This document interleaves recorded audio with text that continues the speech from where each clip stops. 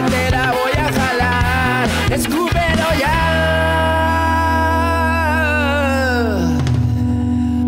Esto es La Lengua, auspiciado por Samsung.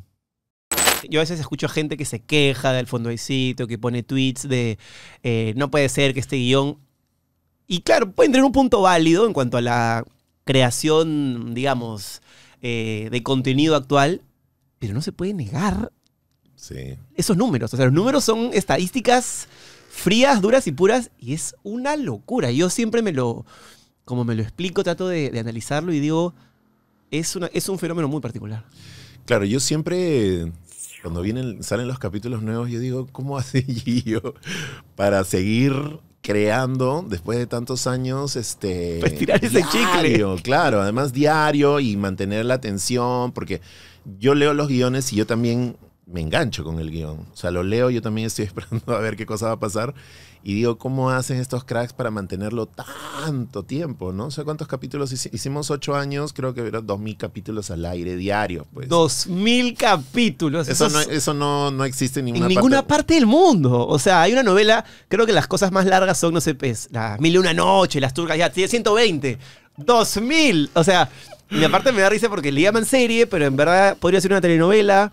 Algunos le llaman novela, pero tiene más visos de serie. Es, es, es muy raro. Es muy raro. Cuando volvimos a, cuando se ofreció nuevamente hacer, volverlo a hacer, yo me, me dio pánico pues a mí, ¿no? Dije, ahora de acá de esta ya no salgo. Porque decíamos qué va a pasar, ¿no? O sea, la gente lo va a aceptar, no lo va a aceptar. Sabíamos que habían actores que no iban a estar, que no iban, bueno, por X motivos estaban en otras cosas. Entonces había que reemplazar, Y buscar. actores de peso, sobre todo los de mi generación, ¿no? O sea, no Andrés Vice, no Daniel Sánchez, no Mayra Couto, son personajes que sostenían en esta comedia coral mucho de la serie. Claro, son además personajes que el público ama, ¿no?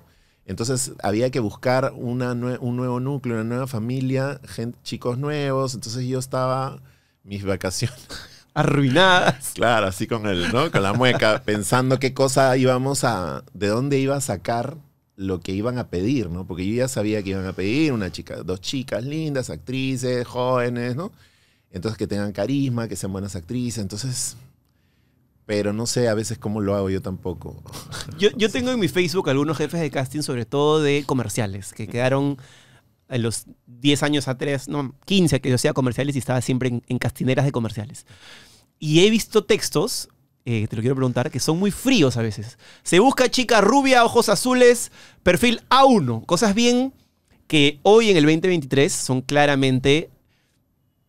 Tienen algunos vicios discriminatorios. Entonces te quiero preguntar, pero a veces se necesita alguien con esa característica física.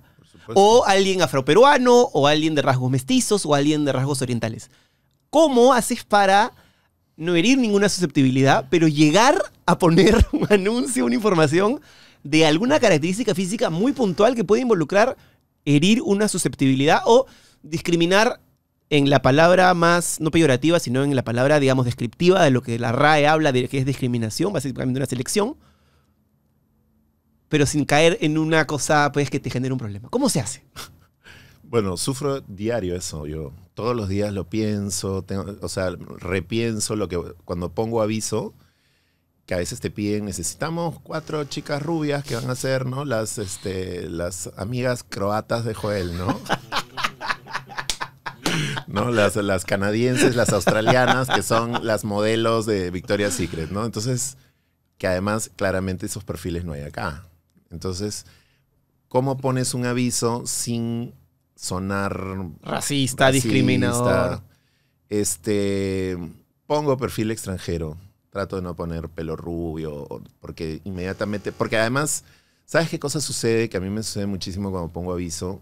Cuando tú pones un aviso y pides, no sé, busco una actriz modelo entre 18 y 21 años, este, mínimo metro 70, ¿no?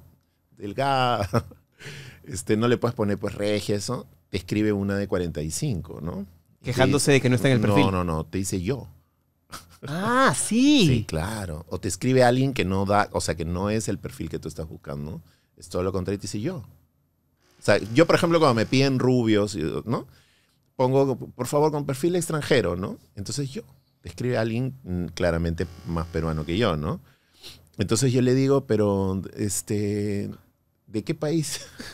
¿Crees que podría ser? Me dijo, pero yo, yo, yo, yo puedo pasar como español, ¿no? O sea, pasan esas cosas todo el tiempo. La gente, la gente quiere trabajar, entonces es, a mí se me hace muy difícil. Claro, porque efectivamente, y esa es la siguiente que, te quería consultar, es, ¿qué es lo más raro que te han ofrecido a cambio de un casting? O sea, ¿qué es lo que has dicho? ¿Qué es lo más raro? ¿O con qué frecuencia? ¿O a qué horas? ¿O qué horarios? ¿Qué cosas anecdótica te ha pasado que dices, esta huevada solo pasa porque soy el jefe de casting del fondo y sitio? Bueno, la- cuando pones un aviso, no, necesariamente cuando pones un aviso, no. De pronto alguien a las 2 de la mañana se acuerda que quiere mandar su CV y me escribe a las 2 de la mañana, ¿no? Al WhatsApp. Al WhatsApp. Y te- o- o ni siquiera te dice, te dice, hola, este, soy, eh, soy un actor en formación, eh, te mando mi informe y te manda 60 fotos, ¿no? Así a las 2 de la mañana de la nada empieza a sonar tu teléfono y, no, te mando mi reel o te mando la- mis trabajos que he hecho y te dice, en- en- mira este enlace de YouTube a partir del minuto 16.5 al 17, ahí salgo en una participación. Toma. Antes renegaba, pues, ¿no? Antes me molestaba, estas no son horas de llamar, estas no son horas de escribir, ¿no? A veces también lo digo ahora. O sea, un poco de criterio, ¿no? ¿Quién daba mi teléfono, no? Ya ahora simplemente no respondo, ¿no? ¿Y cómo crees que una persona, a ver, esa es una cosa que me parece sumamente interesante. Yo siempre he proclamado algo que ya no estoy proclamando tanto, pero en mi juventud inmediata era como yo le decía a los jóvenes, jode, sé impertinente, cuélgate del productor. Obviamente de 9 a 6, ¿no? No llames a las Claro. 2 de la mañana, pero tienes que empezar a tirar disparos al aire porque si no, hasta que alguien descubra tu oportunidad, hermano, vas a estar sentado y te va a salir, pues, este, vas a tener que, en fin, no voy a hacer más analogías, ya se entendió el punto. Pero también, ahora, estoy en un plan mucho más, eh, no sé si la paternidad, la vejez, ¿qué quiere decir? Pero ya más tranquilo. ¿Cómo crees que alguien, un actor joven, que tiene muchas ganas, acaba de salir, salir de su taller de Roberto Ángeles, Alberto Isola, Leonardo Torres, y dice, quiero actuar? ¿Cómo se debe aproximar a un jefe de casting? Escribiéndole. El asunto es que tiene que estar como un poco preparado para presentarte, ¿no? Porque a veces te, hay, hay mucha confusión a veces, mucha gente me escribe que es una cosa es que yo quiero ser actor y otra cosa es que quiero salir en la televisión. Son cosas totalmente diferentes. Mucha gente te dice, cuando pongo avisos, te dice, oye, lo, de, lo, del, lo, de la, lo del réclame, lo de la publicidad, este, ¿cómo- yo quiero salir en la televisión, yo hago TikToks, ¿cómo, cómo puedo hacer? Estoy buscando un actor, amigo, le digo. ¿Eres actor? No, pero hago TikToks, ya. Yo también hago TikToks, le digo, pero no soy actor. Es que ser actor, mucha gente que sale en, en algunas plataformas cree que ser actor es pararte y decir un texto. Claro, y, qué fácil. Y qué fácil, y amigo. Es una no chambaza. así, es jodido. Lidias con tus emociones. Técnicamente tienes que tener algún conocimiento de las luces, de las cámaras. Tienes que tener verdad, tener dicción, ser natural, tener una acción. Por eso hay gente que estudia años y sigue aprendiendo y aprendiendo y aprendiendo. Claro. ¿no? Y hay mil métodos, Stanislavski, bla, bla, bla, bla, bla. Tiene, es un trabajo muy difícil, es un trabajo muy demandante, es un trabajo a veces poco reconocido, es un trabajo que te que quita mucho tiempo. Mira, la gente joven, nueva, que quiere tener una oportunidad, tiene que escribir. O sea, es la única manera. O sea, yo voy a veces a teatros, a talleres, a mirar, pero no es así que tú estás sentado en tu casa y te, ¿no? Te- La llamada ganadora de Jorge Sánchez, que te, no. Tienes que, tienes que presentarte, pero tienes que estar un poco preparado, ¿no? Tener un CV, tener un par de buenas fotos, naturales.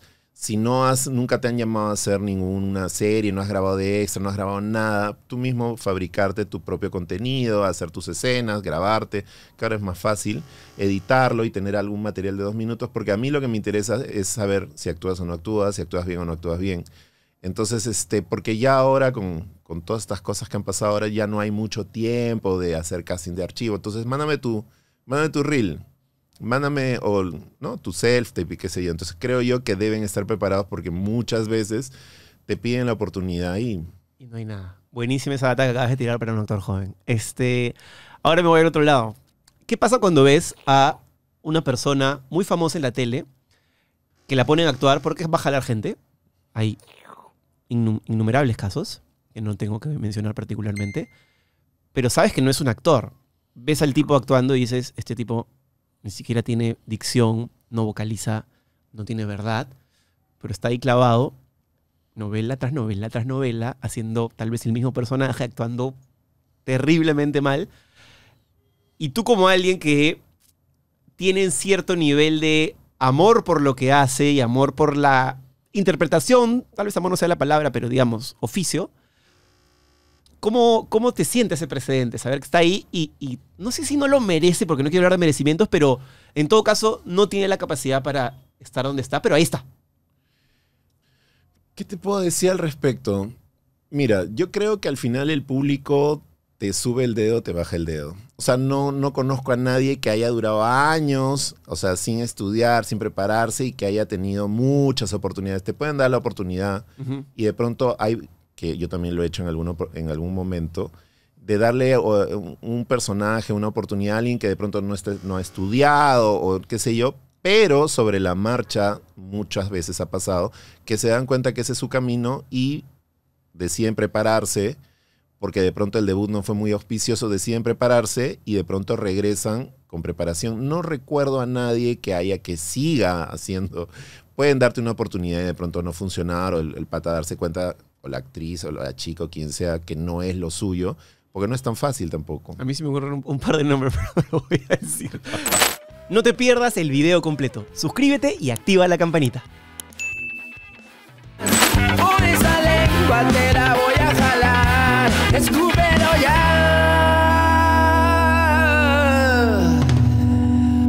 Esto es La Lengua, auspiciado por Samsung.